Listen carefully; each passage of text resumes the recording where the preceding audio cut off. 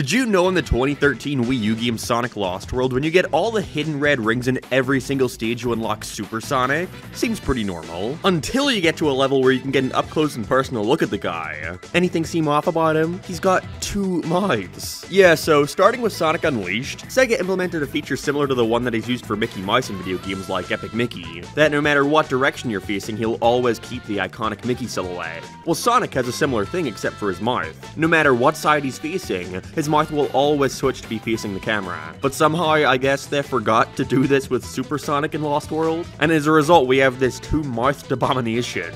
Comment below what you think of this thing. What do you think of Sonic Lost World? Let me know in the comments and be sure to subscribe for more Sonic nonsense.